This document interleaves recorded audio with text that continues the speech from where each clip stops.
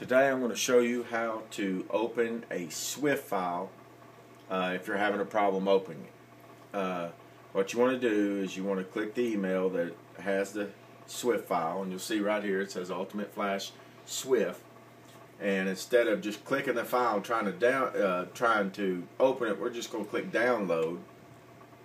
Whatever you have to do on your download everything's different. But you'll see it's going to open and remember the file name that you're looking for. And it's going to save it. When you save it a lot of times the window will pop up. It'll tell you where it's going to save it up here. It's downloads.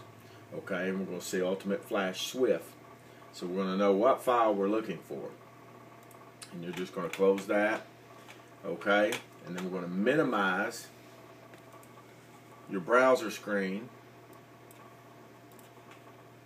And scoot it over to the side we're going to go down here to the Windows Start button. We're going to click it once.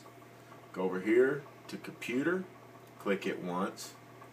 And then on the left side of this computer screen here, we're going to see the word Downloads. We're going to click it.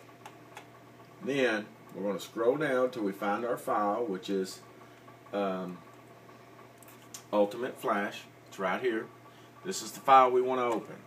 So what we're going to do is we're going to highlight our browser again our web browser. And we're going to open a new tab by clicking the plus to the side of your open tab and it's going to give you a blank screen. Uh, if it doesn't, just clear out the address bar. Okay?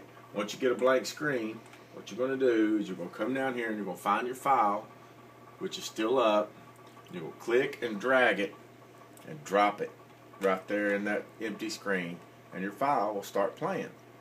And you can maximize your screen again and you can watch your ad. And that's how you open a SWF file.